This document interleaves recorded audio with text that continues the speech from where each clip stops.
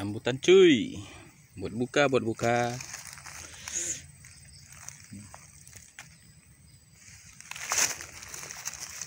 Manisnya bukan kaleng-kaleng. Hmm, masih banyak.